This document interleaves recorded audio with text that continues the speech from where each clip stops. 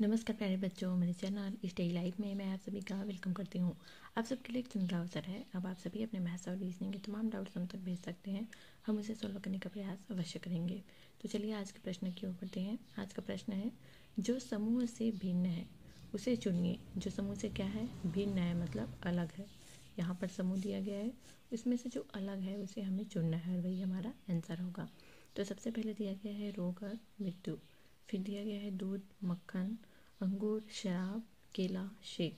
तो यहाँ पर हम देखते हैं कि केला से जो है शेक बनता है। बनता है केला से शेक।